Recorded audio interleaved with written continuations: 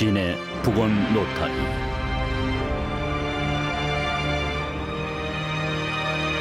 도시 북쪽에서 남쪽 바다를 바라보고 선 나는 이순신 동상이다.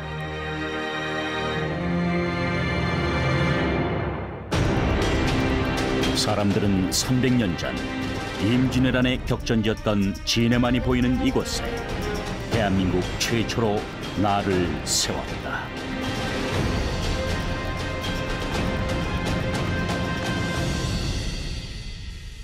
진해는 예부터 해군과 관계가 깊은 도시입니다. 임진왜란 당시 이순신 장군이 이 일대에서 첫해 앙골포 해전 그리고 하포 해전 이듬해 웅포 해전을 치렀고 모두 승리했습니다. 이 지역 의병들의 활약도 대단했다고 하는데요.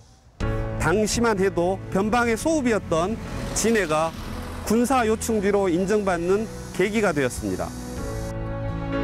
나는 한국 전쟁이 한창이던 1952년에 세워졌다.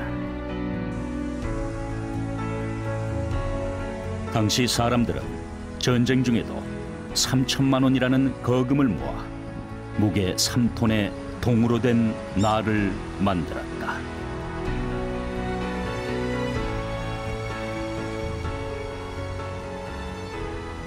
이 충봉 동상은 6.25 전쟁 동안에 국민 성금으로 모았던 우리나라 최초로 세운 동상입니다.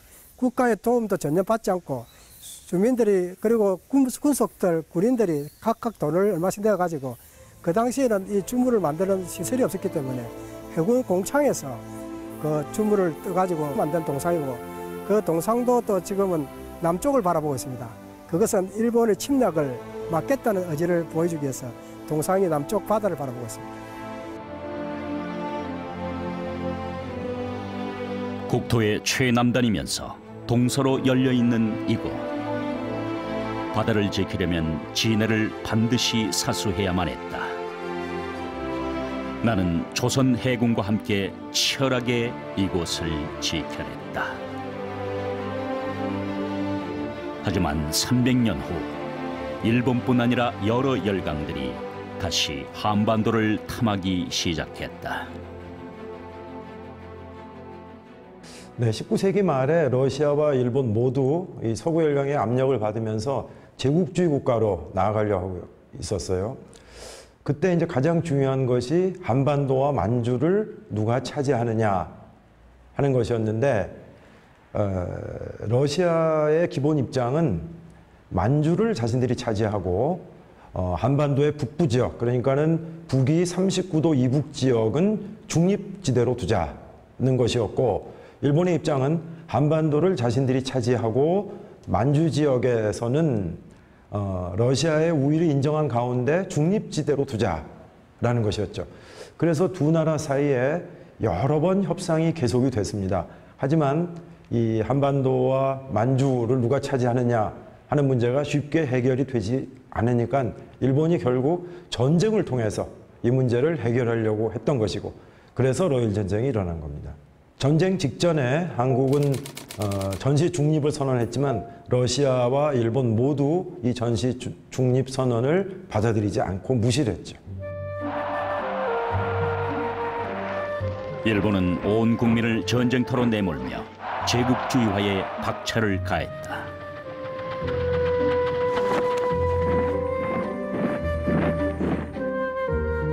강대국들의 틈바구니 속에서 쉼없이 휘둘리는 조선. 약소국의 서름이라 하기엔 당시 위정자들의 무능이 뼈에 사무친다.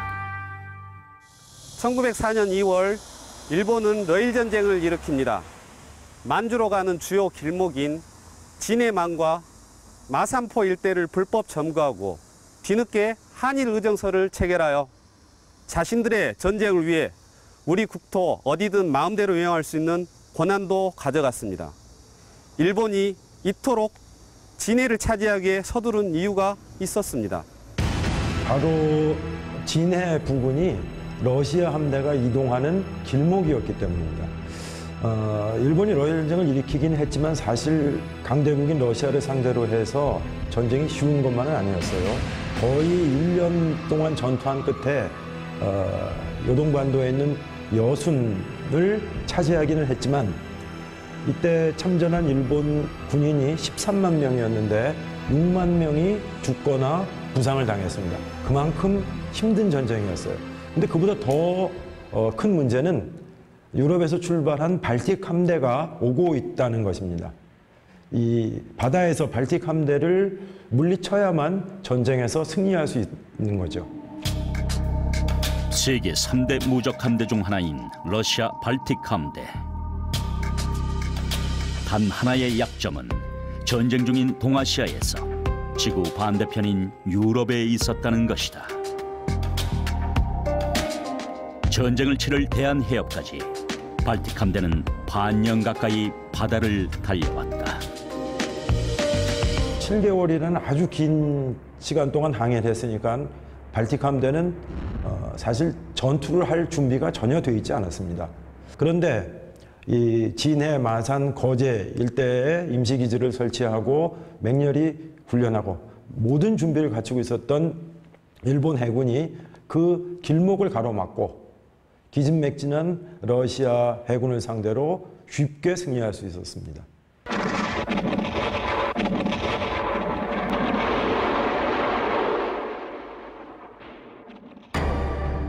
러일 전쟁을 승리로 이끈 일본 연합함대 총사령관 도고 헤이하치로.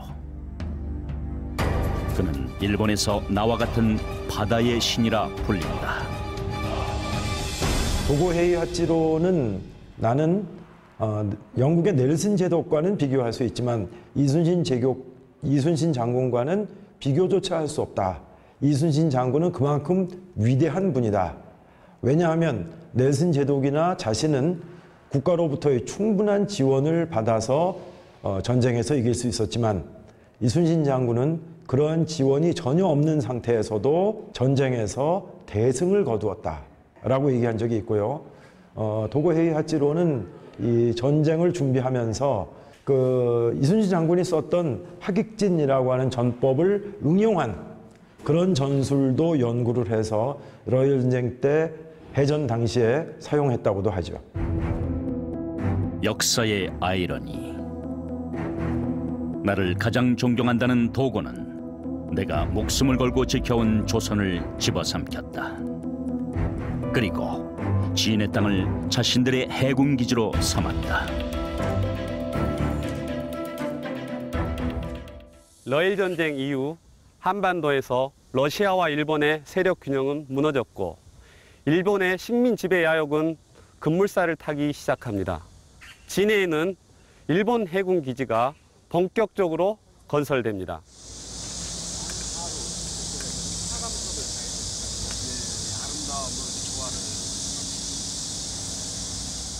이 뒤에 보이시는 건물은 일제 강점기인 1914년도에 건축을 해가지고 어, 일본 해군 진해 요항부 사령부 청사로 사용했던 곳으로 해방 이후 해군 통제부를 거쳐서 현재는 진해 기지 사령부가 사용을 하고 있습니다. 등록문화재 194호로 지정이 되어 있고요. 에, 올해로 에, 건축된 지 딱 올해가 100년이 되는 해이기도 합니다. 어, 이 건물은 전형적인 르네상스 양식의 어, 특이하게 러시아풍이 혼합된 형태를 띠고 있습니다. 그리고 주목할 만한 것은 군 건물답지 않게 적벽돌과 흰색 화강암을 여기저기 써서 굉장히 화려한 양식을 보여주고 있습니다. 건물 내부로 들어가면 굉장히 독특한 계단이 있습니다. 대리석으로 지금 음, 만들어져 있는데요. 우리나라에서 찾아보기 힘든 독특한 어, 재질과 공간감을 어, 나타내고 있는 것을 확인할 수 있습니다. 계단실 주변에서 복도로 나가는 어, 통로에 아주 예쁜 아치가 한 세 개씩 뚫려 있고 어, 계단 음, 형식 역시 어, 아주 자연스러운 곡선을 사용해서 꺾어 돌아갈 때 동선의 효율성, 동시에 그 미학적인 완성도를 같이 높이려고 노력한 흔적들을 살펴볼 수가 있습니다. 100년이 지나도 건재한 아름다운 건물들. 그 견고함과 화려함을 보면 빼앗은 자의 자신감과 빼앗긴 자의 슬픔이 동시에 느껴진다. 예, 이 건물도 그 역시 그 저, 러시아풍 건물로서 일제 강점기인 그 1912년도에 예, 건축을 해가지고 일본 요항부 예, 병원 청사 장병들과 진료하는 그 병원 청사석을 사용을 했었어요. 그 해방 이후에는 우리 그 군에서 인수를 해가지고 네. 국군 진해병원과 해군 해양의료원을 거쳐가지고 현재 등록문화재 197호록이 지정이 되어 있어요. 이게 병원 시설로 운영이 되다 보니까 필수적인 게좀 있어야 되지 않습니까? 예. 그래서 지금 보시게 되면은 이 건물이 그 일제 시대서부터 우리 현재 이럴 때까지 여기서 이, 이 보일러를 가동을 해가지고 장병들한테 그 건강 관리를 유지하는데 상당히 기여한 이런 그 건물이 된 것 같습니다. 오히려 저 병원 본관 건물보다 예. 보존도가 훨씬 더 높네요. 보니까 아, 좀 원형 그- 보존 네, 형태가 좀- 관시 네. 기와 지금 그대로 남아 네. 있고 그 지붕에 있는 창틀 같은 것들도 네, 저쪽 그- 그대로 있죠. 손상이 안 되고 그대로 있네요. 네. 개발의 난무함 속에 옛 건물이 사라지는 것을 수없이 지켜보았다. 오히려 민간의 출입이 금지되고 개발이 쉽지 않은 군부대 내에는 근대문화 유산이 아직 많이 남아 있다.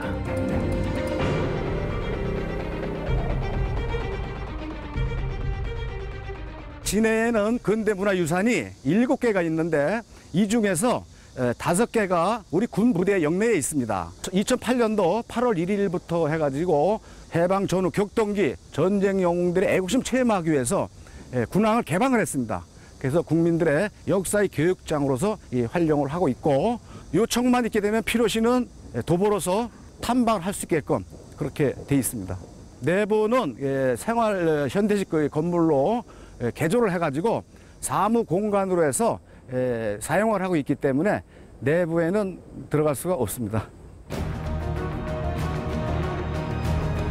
러일 전쟁 직후 일본은 진해를 완전히 점령했고 많은 조선인들이 살던 땅에서 쫓겨났다.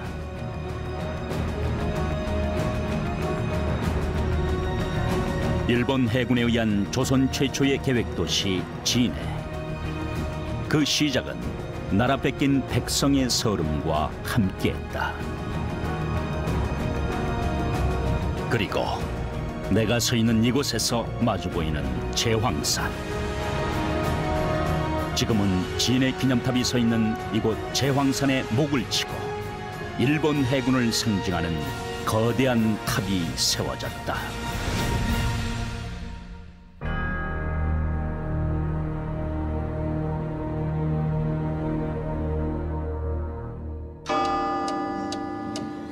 꼭대기에는 내일 전쟁 성전 기념탑을 세웠고 현재 이 자리에서 서목 경기와 경축식을 했고 일본 부대아이가 요 군인들 점령한 자리다 요 진해가 일본 사람이 그냥 나가라 하면 끝납니다. 그 관계 아닙니까?